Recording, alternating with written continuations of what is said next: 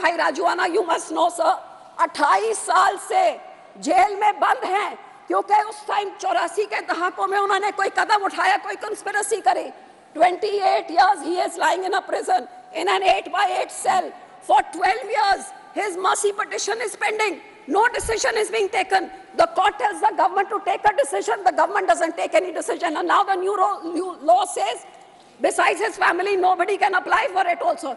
If the person has no family, sir, उनके माँ बाप जे मर गए तो कौन करेगा? ये कहाँ से ये आप ये लेके आ रहे हैं? और बारह बारह साल को इसका फैसला ना हो तो इससे बड़ी बेइंसाफी क्या हो सकती है? आश्वस्त करना।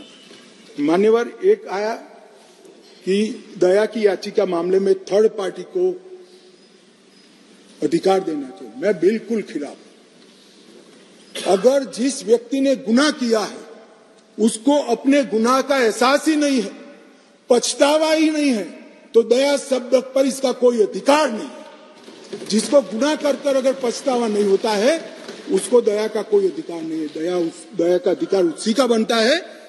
जो, बाद में बोली हरसिमरत बहन मैं समझ रहा हूँ आप क्या कहना चाहते हैं। दया का अधिकार उसी को बनता है जो अपने कृत्य को, से पछतावा करता कोई व्यक्ति आतंकवादी कृत्य करेगा और जेल में जाएगा और फिर कहेगा कि मैं तो नहीं माँगता, मेरी मन स्वीकारने के लिए तैयार नहीं है, मैंने कृत्य किया, और इस पर दया की जाए, मैं सहमत नहीं हूँ, सब ऐसा कभी।